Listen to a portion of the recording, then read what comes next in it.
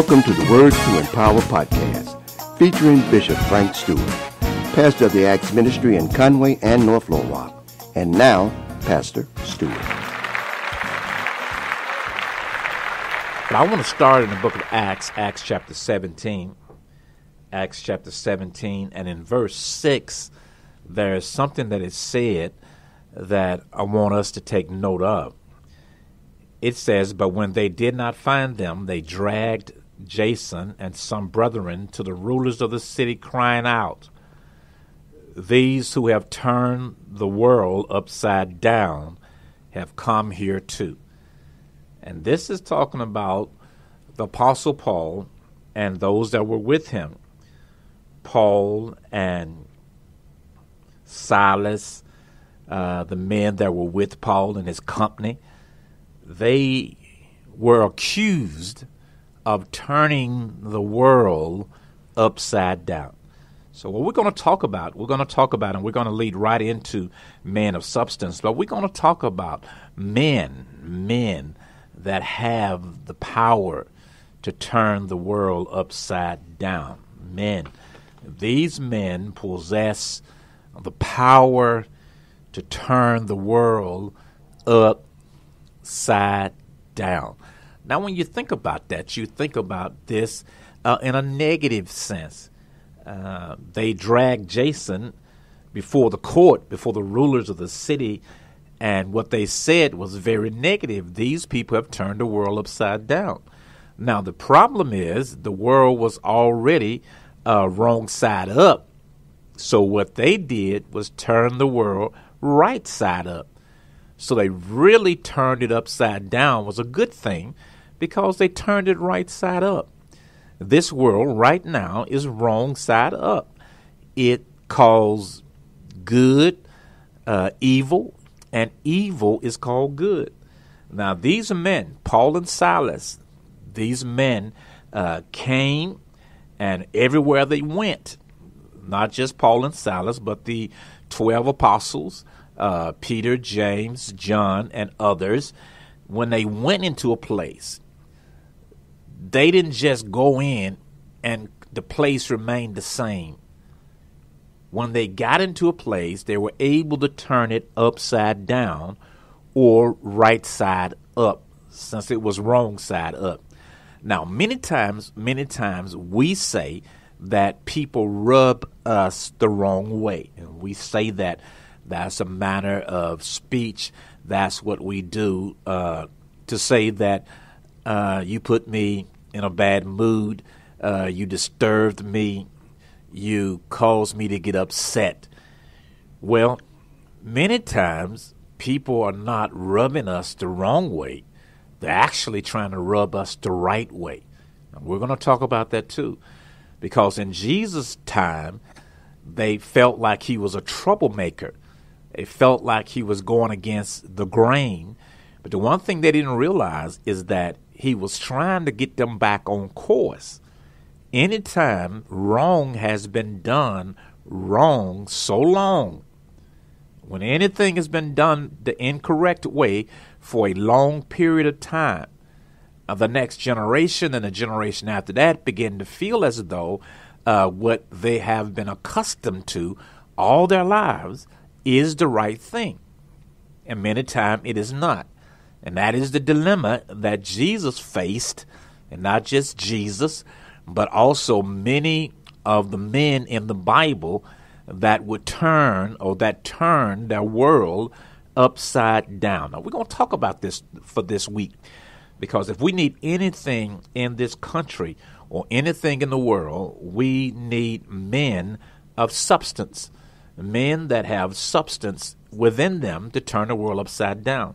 Now, we're going to make an incredible distinction between the gifts of the Spirit and the fruit of the Spirit. you think about that. The gifts of the Spirit, or just natural talent, natural ability, and the fruit of the Spirit. It takes the fruit of the Spirit to turn the world upside down. Uh, the gifts and natural ability and natural talent will not do it will not do it. But it is the fruit of the Spirit.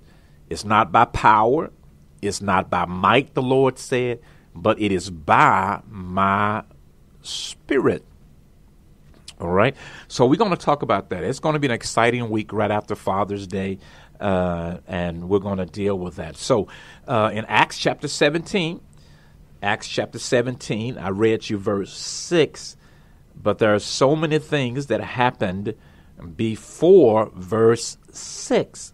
So many things that happened before verse 6 that we need to study, that we need to understand.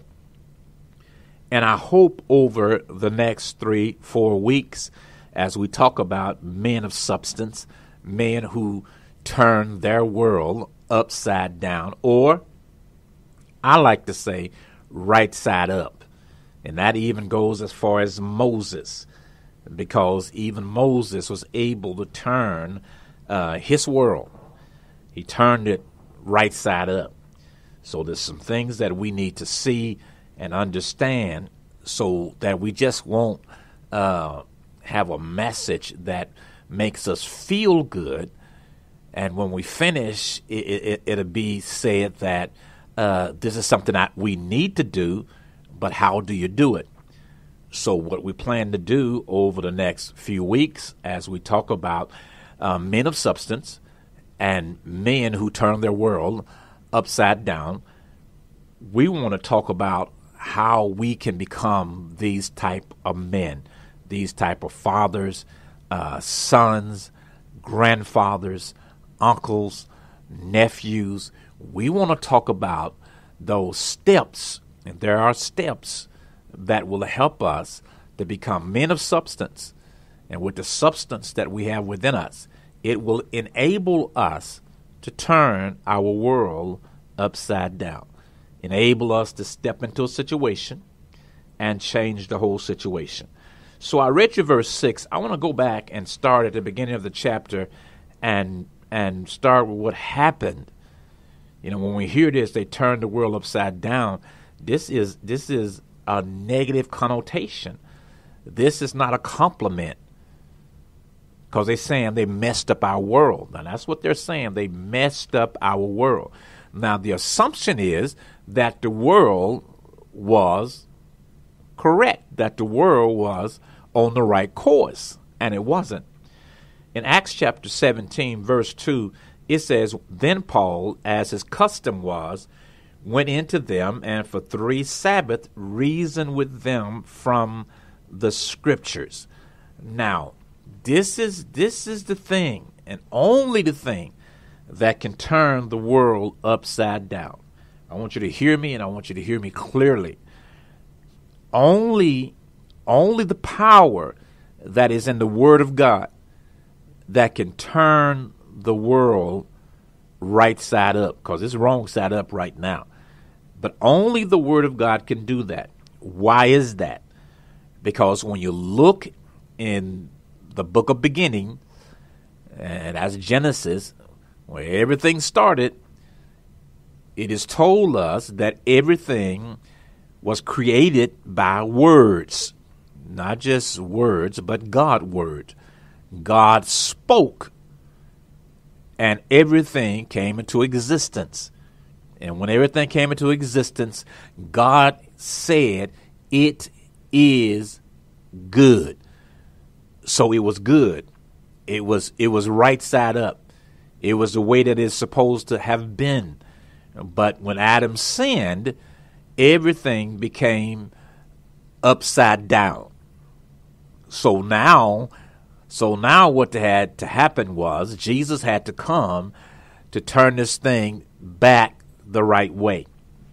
And that is a process, and that's something that he is going to finish uh, shortly, the Lord Jesus. But I want you to see this since it took the word to create everything, to create the world and to create everything that is was it came from the word of God. Only the word of God has the power to turn the world right side up. Only the word has the power. It was the word that created everything, and that same word, which is the word of God, only it has the power to change people's lives, to turn the world right side up. Now, when we look at just this month alone that we have named for the last few years, Father Awareness, when we look at this month, we look at it, we begin to see some things that we need to understand. That when we see mothers trying to raise uh, children, single parents, uh, mothers trying to raise sons, mothers taking their sons and daughters to church, and the father is absent.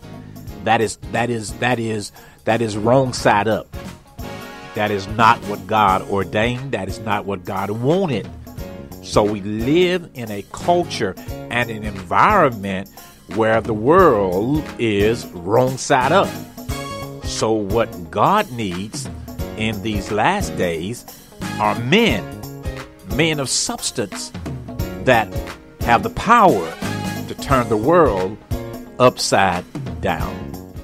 For mobile giving, text the amount you wish to donate to 501 302 4242. The Acts Church in North Little Rock is located at 1224 Franklin Street. For more information, go to actsministriesonline.org or give us a call at 501 329 2055. Thank you for tuning in to the Acts Ministry podcast. The Acts Church is located at 1423 Ingram Street in Conway and 1224 Franklin Street in North Little Rock, Arkansas. Tune in each day to hear an inspiring word from Pastor Frank.